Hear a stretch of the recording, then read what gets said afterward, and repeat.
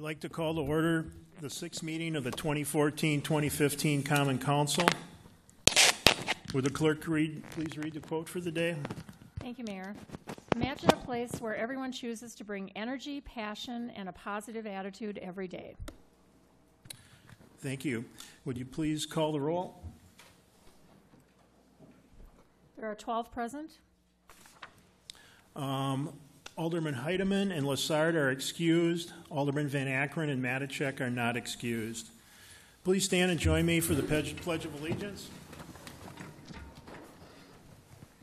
I pledge allegiance to the flag of the United States of America and to the republic for which it stands, one nation, under God, indivisible, with liberty and justice for all.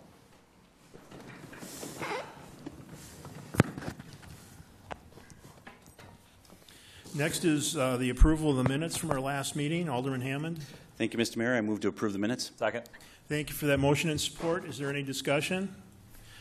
Seeing none, all those in favor, please signify by saying aye. Aye. Opposed? Motion passes. Thank you. Uh, There are no resignations or council appointments this evening, so we'll move on to a presentation by the Chamber of Commerce Tourism Economic Impact Update for Sheboygan County. Amy Wilson, the uh, Tourism Director, is with us tonight. Amy, the floor is yours. Thank you. Good evening, Mayor Vandersteen, council members. Um, I'm going to review the economic numbers, and most of these, actually all of them, go through through 2013. If you're not aware, every year the state commissions a third-party uh, research company out of the East Coast that does um, all of the large destinations around the world, including Disneyland, and they bring back this report every year, the, in May of every year for the prior year. So this will give you kind of a standing on where we are right now. So we'll review kind of the Wisconsin overall look first, and then the county, and then drill down to the city. Um, visits to Wisconsin destinations grew 3.5% between 2012 and 13, and hotel room demand grew about 2.7%. The average daily rate also increased by about 3%, and it helped grow the overall hotel re- room revenue by f- 5.7%, and this is a statewide trend. So in Wisconsin, leisure travel comprises about 88 of 88% of visitor spending. So leisure travel, weekend getaways, family getaways are still king in the tourism markets. Overnight visitors comprise 67% of visitors spending at $7.3 billion across the state in 2013. Day visitors spent about 3.6 billion. So Wisconsin's spending trends for the year. Um, visitors spent more than 2.7 billion on lodging. That was increased almost a little over four and a half percent from the prior year. Um, more than 2.7 billion was also spent on food and beverage, and this is interesting because this is the first time that food and beverage, increasing 6.2 percent in a year, has leveled off with lodging. So people are really spending money on culinary experiences and food. Um, retail captured almost 2.3 billion. That's an increase of 2.3 percent. And the bottom one, recreation, had the largest increase percentage-wise in visitor spending at 6.3 percent, with nearly 1.4 billion. This bottom line, the recreation increase, has been on the rise for a trend about the last five years, and this is the one we're really interested in because most outdoor and recreation activities, while they don't cost much, some of them do have fees, and this is where Sheboygan, in particular with the waterfront asset, has a real opportunity to capitalize on this, along with the bike trails.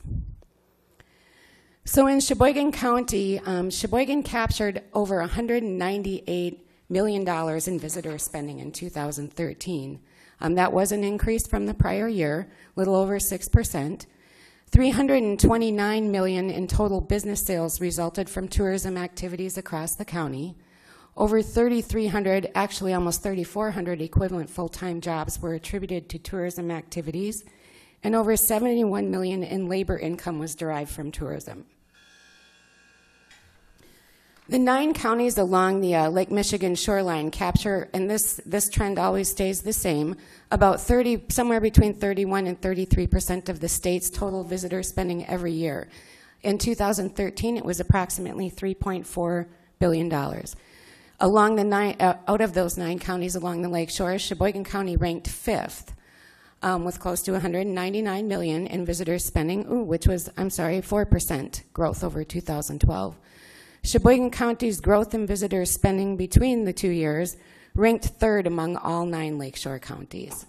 And I believe the mayor gave you a handout um, that shows some of the top counties that was printed in one of the uh, business news, did you say?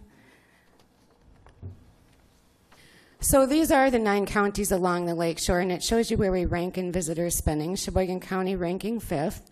Um, over the last two years, we've been increasing slightly on Racine County, which actually captures more day business, probably because it's geographical location.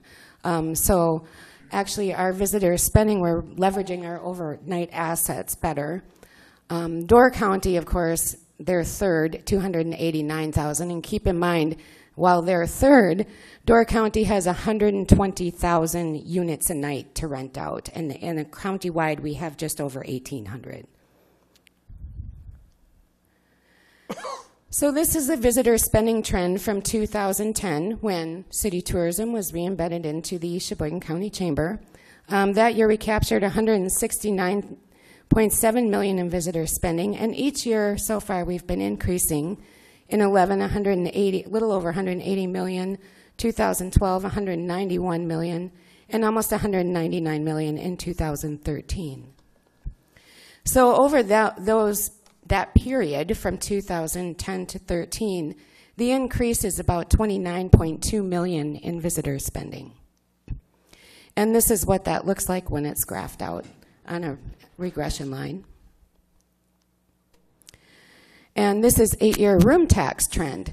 So you can see as visitor spending rises, so does room tax. The dip in about mid 2009 is when we were at the peak of the recession, and we've been climbing ever since, growing very nicely out of that um, recession era.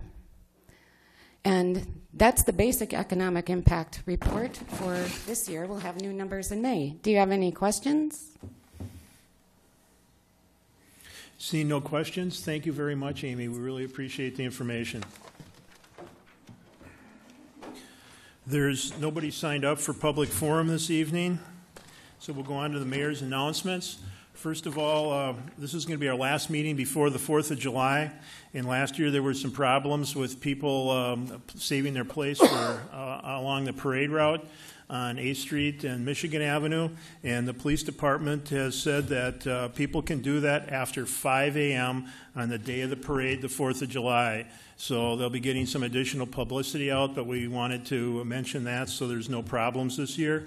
And um, we also uh, want to mention that today uh, had the pleasure of attending with Alderman Hammond the uh, Acuity dedication of the uh, symbol of freedom, the new flag and flagpole, and it was just an amazing ceremony. They had a, a flyover with some parachutists coming in, uh, very classy, and it's, it's really neat that Acuity has uh, has decided to make this this a reality and, and make Sheboygan stand out with the tallest flagpole in the nation.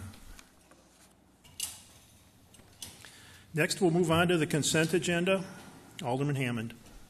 Thank you, Mr. Mayor. First, I'd like to pull um, 2.4, um, and then on the remaining, I would make a motion to accept and file all ROs, accept and adopt all RCs, and put all resolutions upon their passage. Second. Okay, we'll deal with 2.4 first. What's your pleasure with 2.4? Thank you, Mr. Mayor. I'd uh, move to accept and file um, and pass the resolution. Um, however, contingent upon the city appropriating sufficient funds for the closing um, of the of the property. Second. It's moved and seconded. Is there any discussion on the motion? Seeing none, will the clerk call the roll on passage? Okay, we'll do it on a voice vote. All in favor signify by saying aye. aye. Aye. Opposed? Motion passes. And then we have a motion on the remainder of the items in the consent agenda. That's 2.1 through 2.16, other than 2.4. Um, That's open for discussion. Is there any discussion? Seeing none, will the clerk please call the roll?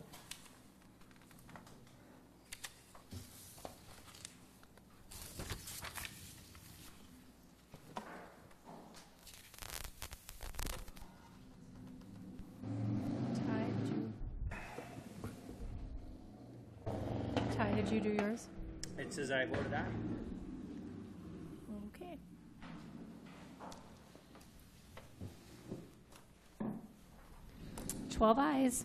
Motion passes. Next is report of officers. Item 3.1 will lie over. Items 3.2 through 3.6 will be referred to various committees. Under resolutions, item 4.1 through 4.7 will be referred to various committees.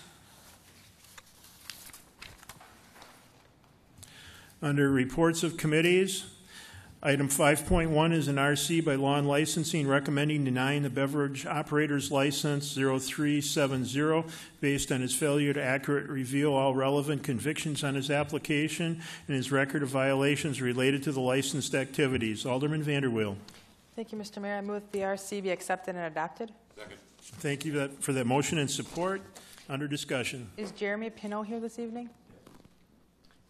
He is here, so I'd ask that he come to the podium.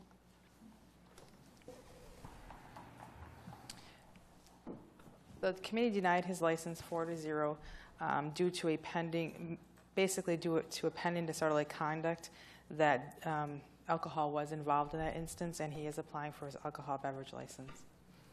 Did you have anything you'd like to say? Um, it's just that we, I was out earlier in the night, you know, I wasn't, you know, drunk, or I had a couple drinks and I went home. Um, and that, uh, you know, I have a ten-year-old daughter who, I need this job, you know, I have to pay child support. And with this job, it will, become full-time if I can get my beverage license. Um, I, I do live upstairs from Sly's Midtown Saloon. Um, so it's, you know, we one girl had surgery and one probably one guy will be leaving us so we need in a full-time position and i just kind of need this for my daughter for one and for myself two Thank you. Alderman Vanderweel. I guess I'd just like to um, probably give you the whole background. Um, in 2010, he did have two misdemeanor dispensing drugs without a prescription, and in 2013, there were two um, counts of petty theft as well as the disorderly conduct that's pending. Um, he is working at Sly's. He's been there since December, Jan- December, January, something like that. So um, that's that's what we decided on based on that information. Okay, any other discussion?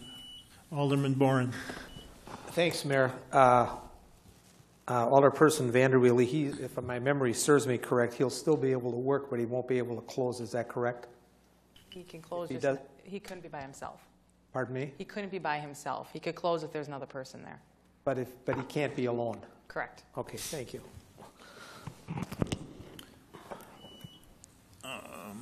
Alderman Koth. Thank you, Mayor. And am I assuming that the police department gave a negative recommendation? They did not give a recommendation. They did not give a recommendation. Okay, thank you. Okay, if there's no other discussion, will the clerk please call the roll on the motion?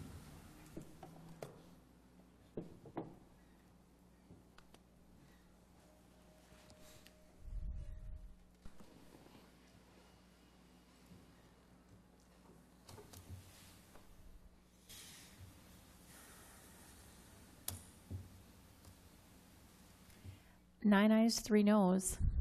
Motion passes. You can step down. Item 5.2 is an RC by Public Works recommending and authorizing entering into a contract for the resurfacing of South A Street from Kentucky Avenue to Union Avenue and passing the attached substitute resolution. Um, Alderman Bourne? Alderman Bellinger? Thank you, Mayor. Um, I move to pass the resolution. Second?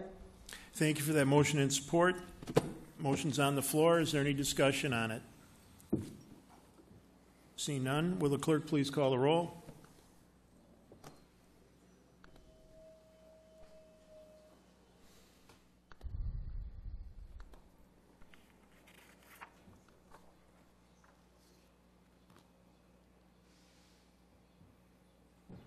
Twelve ayes. Motion passes. Uh, Item 5.3 will lie over until July 7th. Under ordinances, Item 6.1 will lie over. And item 6.2 through 6.4 will be referred to various committees. Item number seven is under Charter Ordinance, uh, is 7.1, and that will be referred to Salary and Grievances and Committee of the Whole. Uh, There are no matters laid over. And next is a notice to discharge the Finance Committee regarding RO number 54 of 1415. Alderman Hammond. Thank you, Mr. Mayor. I uh, move to discharge finance of RO uh, 541415. Second. Thank you for that motion and support. That'll uh, be a roll call vote then.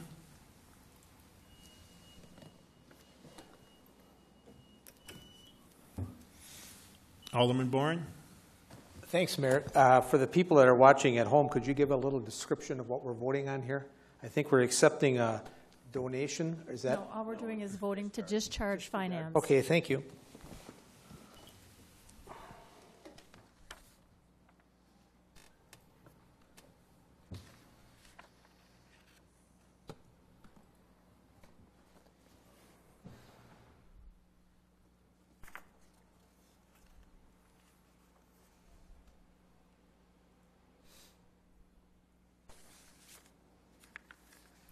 Twelve ayes. Motion passes. Alderman Hammond. Thank you again, Mr. Mayor. I move to accept and file um, the RO 151415, um, accepting a sponsorship contribution from Festival Foods for the fireworks for 1415 and 2016. Second. Thank you for that motion and support. The uh, item is on the floor. Alderman Hammond. Um, Thank you, Mr. Mayor. I just wanted to, again, thank Festival Foods for their generous donation. Um, The donation is $40,000 a year for the next three years to help ensure that our Fourth of July celebration and the fireworks go off uh, smoothly for the residents of Sheboygan. So again, uh, thank you very much to to Festival Foods. Thank you for that discussion. I'd like to, uh, if there's no objection, call Chad Pelishek up to tell us a little bit more about this matter.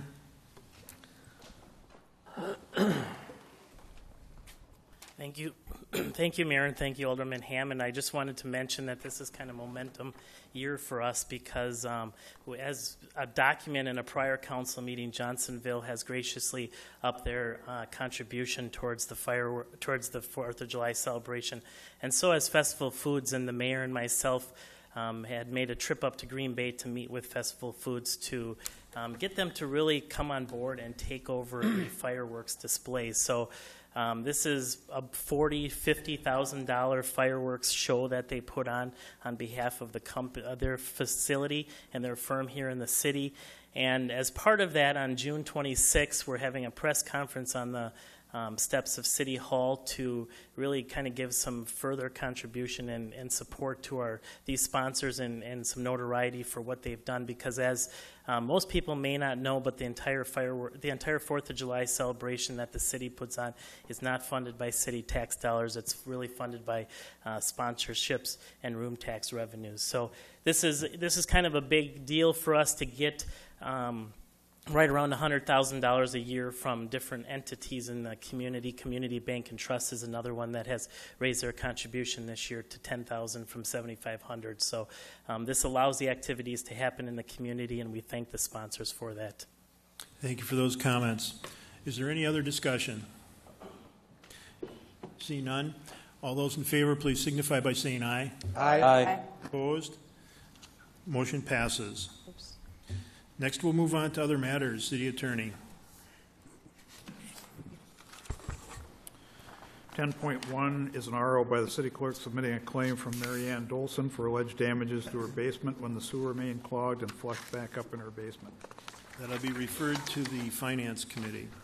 10.2 is an RO by the city clerk submitting various license applications for the period ending June 30, 2015 and June 30, 2016. That'll be referred to the Law and Licensing Committee.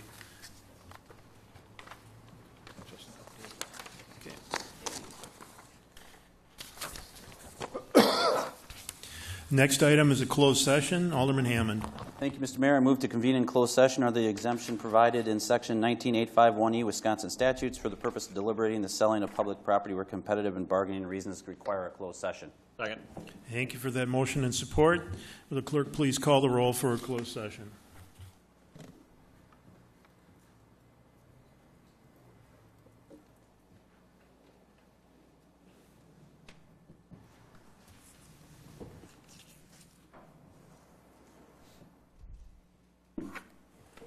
Twelve ayes. Motion passes. We'll take a five-minute recess and reconvene.